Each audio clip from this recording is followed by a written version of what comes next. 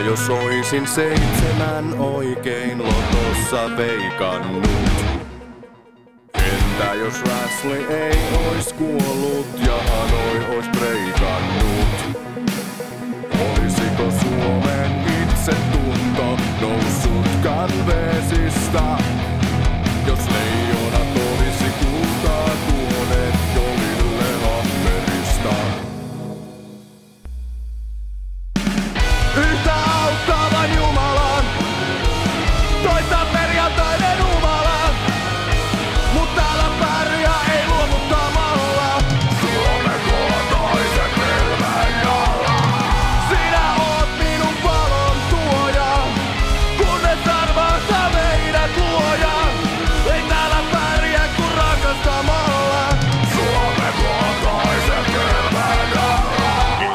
Jos oisi Irmelin kanssa kihlattin ostettu?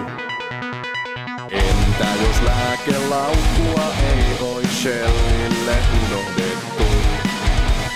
Olisiko Nokian pääkonttorille Keilaniemessä käyttöä?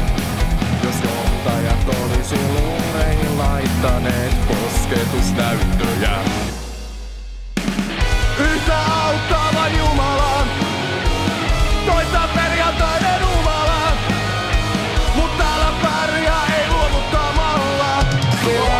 Muotoisen pilven alla Sinä oot minun valon tuoja meidät luoja Ei täällä pärjää kun rakastamalla. Suomen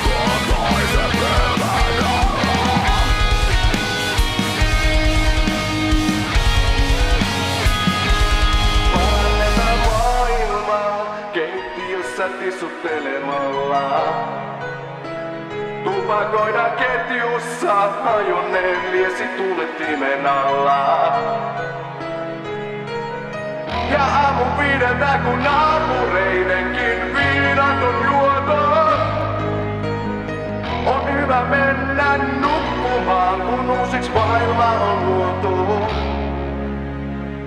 yhtä auttavan Jumalan.